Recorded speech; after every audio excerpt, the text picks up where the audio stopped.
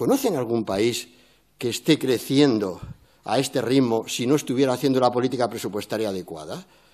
¿Creen que si la política presupuestaria no fuera la correcta podríamos estar creciendo como estamos creciendo en el primer trimestre de este año al 3%? ¿De verdad? Con un país donde el, gasto público del conjunto de las administraciones públicas representa el 41,5%, eh, si, no, si no estuviera la política presupuestaria bien orientada, eh, ¿sería posible alcanzar ese crecimiento económico?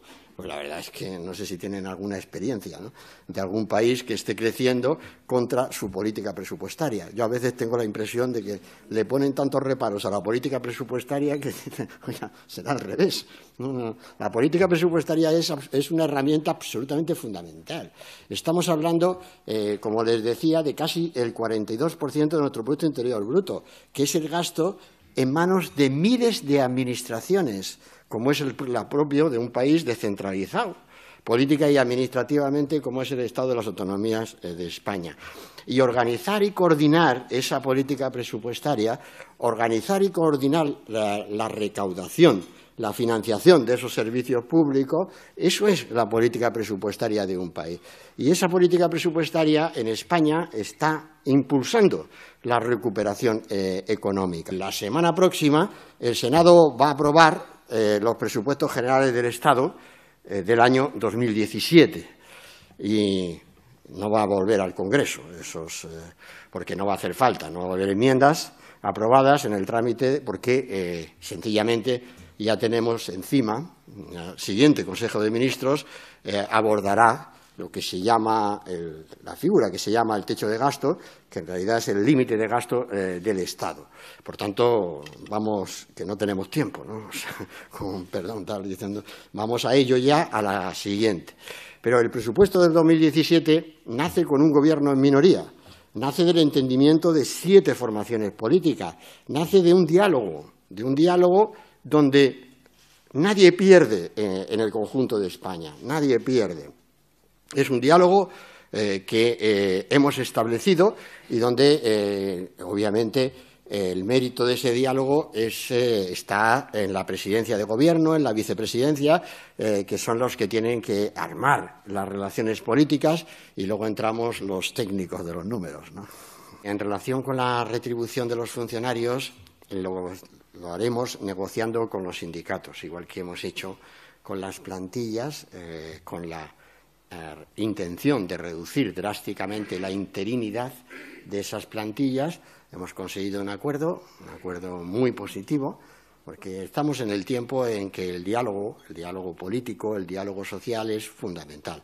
O sea, eso quiere decir que los resultados no son del gobierno, son cuando menos compartidos, porque un gobierno que dialoga y que coincide, pues quiere decir que es un gobierno que es convencido y en ese sentido es muy necesario que venga también de eh, los agentes sociales, que sean los agentes sociales los protagonistas con responsabilidad, como están haciendo gala de esa responsabilidad, pero también tienen los funcionarios han hecho un trabajo excelente frente a esta crisis económica y por tanto en una fase de recuperación pues también es lógico y coherente que también en términos salariales eh, se vaya produciendo una recuperación de su capacidad eh, económica eh, porque eh, se lo merecen. Para el 18 no, no, hay, no, no vamos a tener margen para aplicar las reducciones del IRPF. Esto, esto parece muy claro. Y, tenemos que tener en cuenta que sería el segundo año de legislatura, por tanto todavía nos quedan dos más. Y, y tenemos que tener, digamos, zanahorias. ¿no? para, para luego la negociación, porque si no, mm, no ¿qué vendemos? Después estar diciendo. Y luego ya saben cómo siempre ocurre.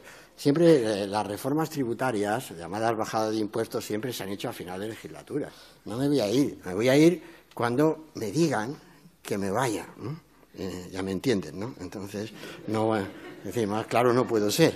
Me van a ir cuando me digan que me vaya. Y entonces eh, no, voy a hacer uso de mi voluntad ni, de una postura cómoda personal para mí, ¿no? O sea, que no es, no es por eso. Y por tanto, pues mientras tenga trabajo, ahora vamos a hacer el techo de gasto nuevo, tenemos toda la Ya estamos en ello, tenemos la negociación política, tenemos que conformar al menos la mayoría que ha permitido aprobar ese presupuesto general del Estado 2017 y no se preocupen que algún día llegaré a mi término. Pero claro, entiendo que el Partido Socialista me repruebe, pero la verdad es que eso para mí es como eh, el, aire que respiro, ¿no? O sea, claro, no recuerdo desde antes de entrar en el gobierno, ya el Partido Socialista pedía mi dimisión.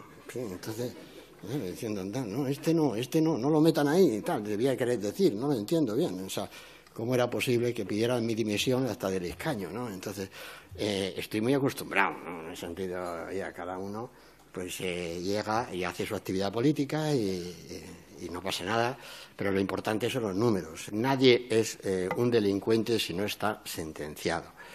y, por tanto, eso, el, principio de presunción de inocencia hay que aplicarlo en todos los ámbitos y, por supuesto, hay que aplicarlo frente a acusaciones de delito fiscal. Por tanto, esta, rapidez, esta valoración de que basta que tengas eh, una incidencia con la agencia tributaria, con la fiscalía, para que ya seas calificado como tal, me parece que es un error eh, tremendo que se está incurriendo en España eh, un error que hace que la carga de la prueba sea la contraria, es decir, ya ha sido declarado públicamente culpable y creo que esto no se corresponde con una sociedad moderna, con un Estado de Derecho. Esto no, tiene ningún sentido y hay que pedir eh, mucho más equilibrio. La agencia tributaria es una de las grandes instituciones del Estado.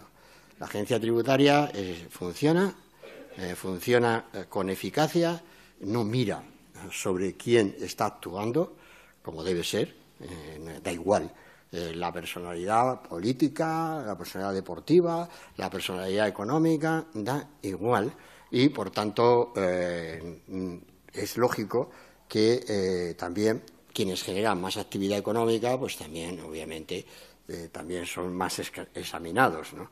Para que esa propuesta de ordenamiento llegue a ley, necesitaremos el concurso del Partido Socialista, sin duda alguna, porque no podemos hacer una financiación autonómica contra el criterio de las comunidades autónomas gobernadas por el Partido Socialista. Esto sería un gravísimo error, ¿no? crearía agravios en vez de resolver eh, eh, que eh, la aspiración de la financiación autonómica es que todos los ciudadanos tengan acceso a los bienes y servicios en las mismas condiciones, con independencia del lugar donde residen.